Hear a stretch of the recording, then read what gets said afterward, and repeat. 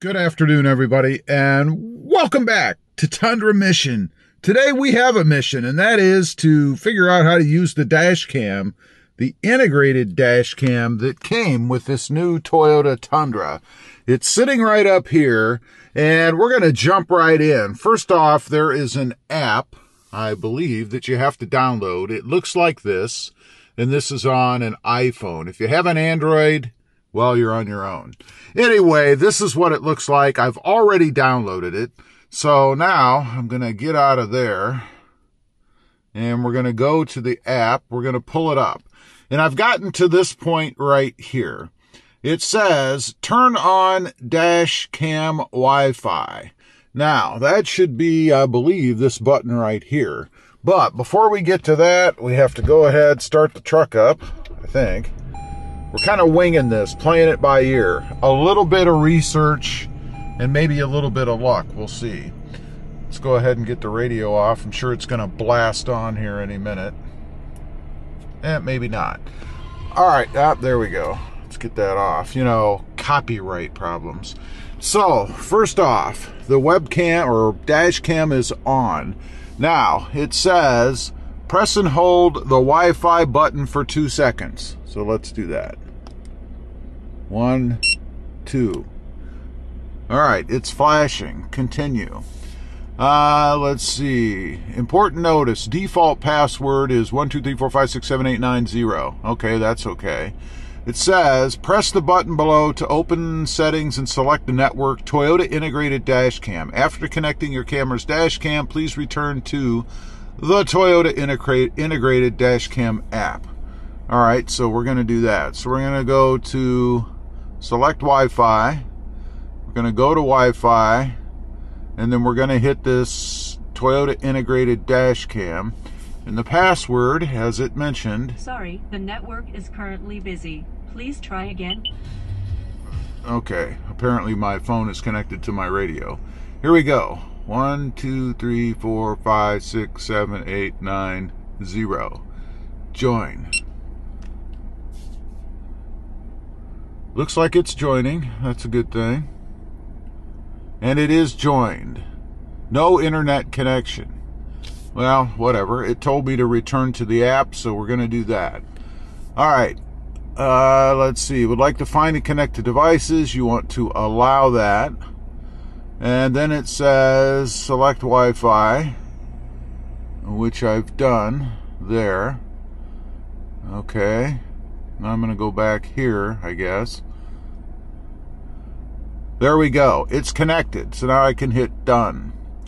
Uh, blah, blah, blah. Don't care about that. Hit OK. Change password for your own data. We'll do that later. Now. Oh, I have to do that now.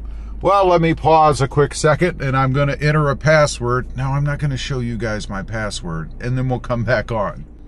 All right, I've set the password. It has to be 8 to 12 numbers. So I've done that. And this is what the screen looks like that we have. So I'm curious what I do now. Uh, I don't know what has happened up there, uh, but we're going to hit this live view. I want to see if it shows anything. Says it's connecting. I thought we were connected already. Drag to connect. All right, well, dash cam not connected. Settings. Uh, I guess we have to select it again after setting the password. Uh, actually, the Wi-Fi is not on, so I'm going to hold this down again for two seconds. There, now it's on.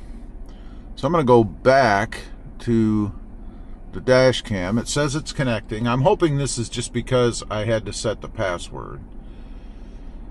So it's spinning. We'll see if it connects. Not connected. Settings. Dash cam. It should connect. I don't know why it wouldn't. Incorrect password. All right, I have to enter the password, and I'm guessing it's the one I just changed to, right? So let me do that.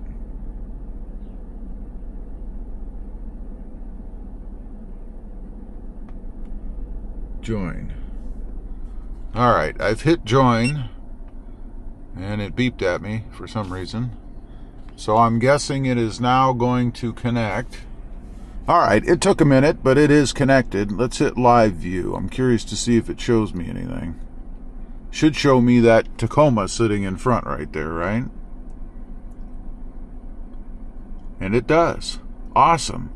So I am now connected, I guess. Let's get out of this. And it's got settings, info, browse, download, blah, blah, blah. What happens if I push this? Nothing. So if I go to live view, let's say, and let's get that back up again. Now I want to hit action. You hold this down to record.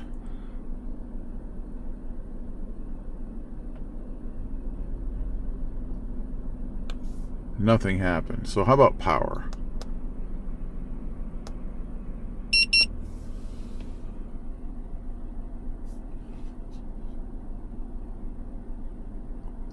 Okay, I've hit power. All right, everything seems to be on. Now action. Right now, it would appear that I am capturing video. It's flashing up here on the action button. The uh, voice thing is working here on the camera, and we have power. So now we're going to jump off of this camera and we're going to see some footage of this, assuming it actually is working.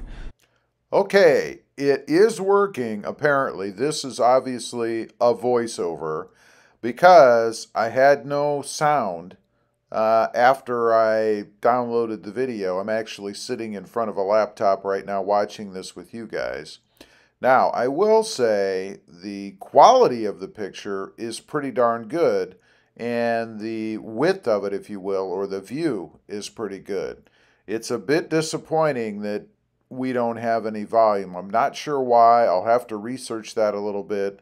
But supposedly, you can talk while you're recording with this camera. I mean, that's what that microphone means on the camera itself. So I'm not quite sure why it didn't pick it up. But I'll play this for a couple minutes just so you guys can get an idea of what it actually looks like out on the road. Okay, here we are just getting ready to jump onto a 55 mile an hour road. And my idea with this was to see how clear the sound was with wind noise and road noise and stuff like that from the truck.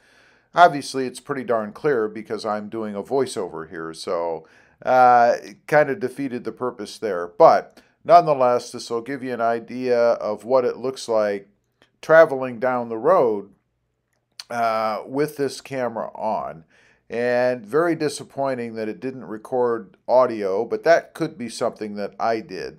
Not exactly sure why. The only thing I can think is that my iPhone connected to the radio via Bluetooth and that kind of stopped it from recording the whole system. I'm not exactly sure. So I'll try it again with the camera, my phone that is, off, uh, not connected to the radio, and see if we get some volume through it that way. Anyway, this is what it looks like. I'm pretty impressed. The video is enhanced a little bit through my editing software. I did up the brightness just a little bit. It was a little bit dark, uh, but not much. Pretty clear picture. I'm very impressed with it, and I think it definitely would be handy if you ever had any issues on the road and needed to have some sort of video evidence.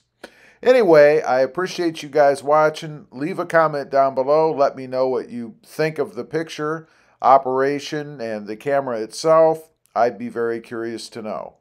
Thanks for watching. Stay safe out there. Bye.